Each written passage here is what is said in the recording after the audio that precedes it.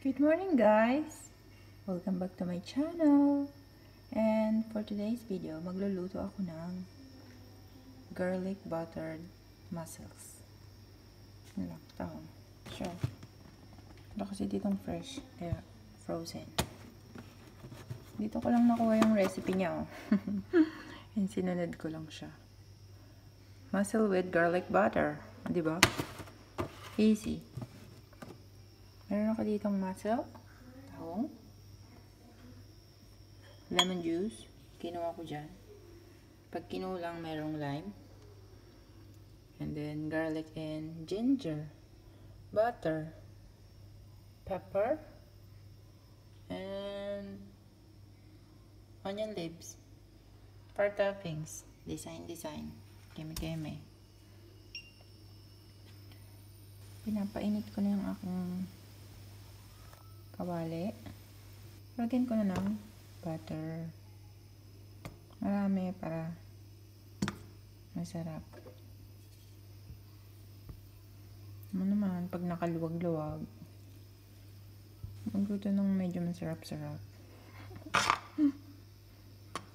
Ayan.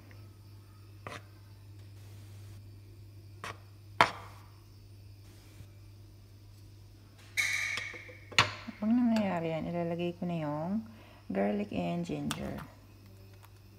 Bakit nilaglagan ko ng bakit dinagdagan ko ng ginger? Para added flavor. Pampatanggal ng lansa. Yun yun.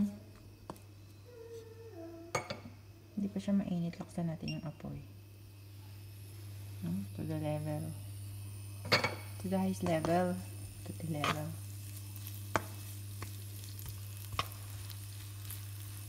O, diba? Kulo ulit siya.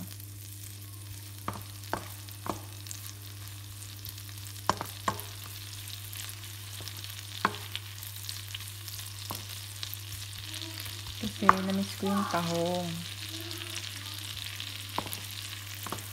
Favorite ko talaga yung mga seafoods. Kaya yun yung madalas kong niluluto. Ako lang naman kakain ito eh. Hindi sila kumakain ito. Right? You say hi to my video. Hello. Tuklado siya.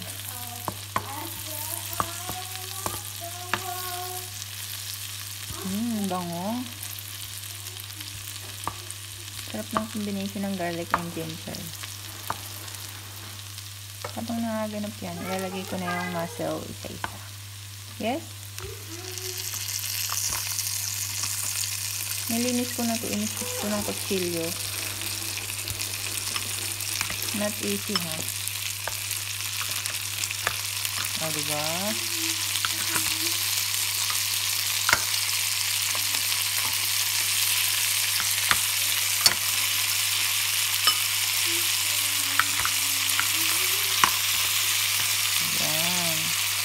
Ayan. Tapos, ilalagay ko na yung lemon juice. And then, lalagyan ko siya ng konting paminta.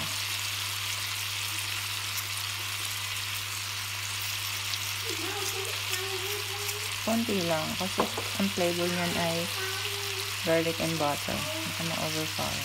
And then, tatakpan ko siya saglit. Yes? Wait, please. What do you want? Yung ano ko nagtago. I can see you!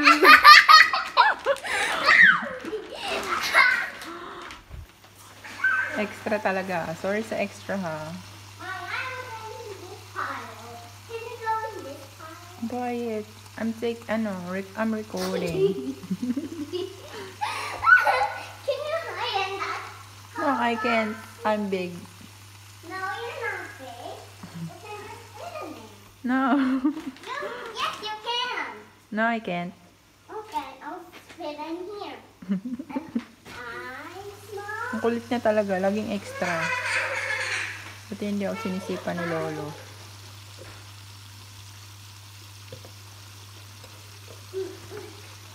No need na mag-add ng water kasi may sariling water yung ating mussel.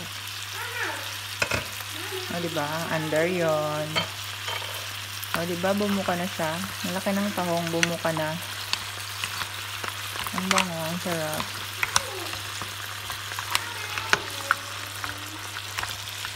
O, diba? Once na mag-open na yung kanyang shell, luto na yan. Quiet please, okay. Sorry sa background ko ha. Alam mo na, akong anak fish. Maging extra.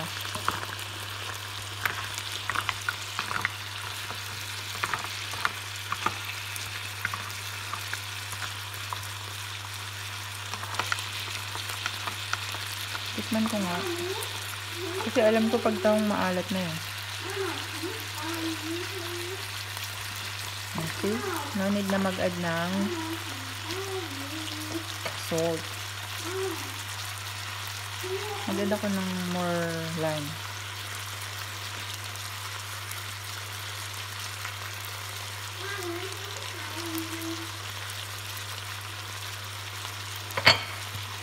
Diba? Ayan. Easy.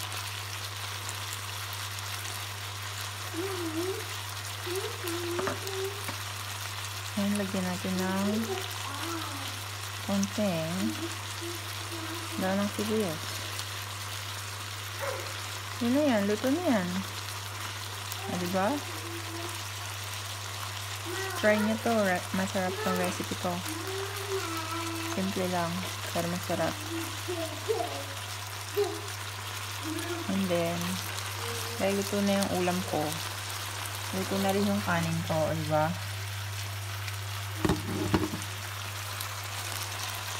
So, hanggang dito na lang. Until next time. Bye!